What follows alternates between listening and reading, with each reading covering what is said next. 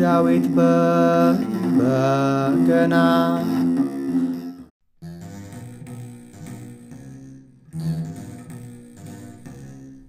The begena is tuned by adjusting the tuners, መቃኛዎች, on the gamba.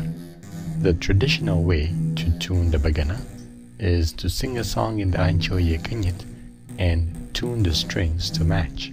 This is understandably difficult for a beginner.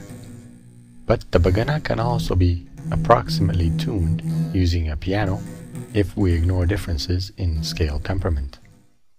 See extras for a detailed explanation of temperament. This is the Ancho Yekinyit in the key of C.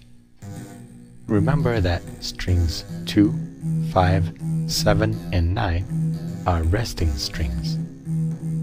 String number 4 is tuned to the first scale tone, in this case C. String number 6 is tuned to the second scale tone, in this case C sharp. String number 1 is tuned to the third scale tone, in this case F. String number 10 is tuned to the fourth scale tone, in this case F sharp. String number 8 is tuned to the fifth scale tone, in this case A. And finally, string number 3 is tuned an octave below string number 8 to A.